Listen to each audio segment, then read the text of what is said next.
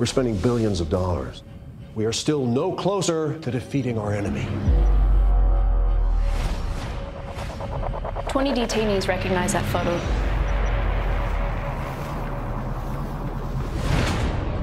No birth certificate, no cell phone. The guy's a ghost. He's right in the inner circle.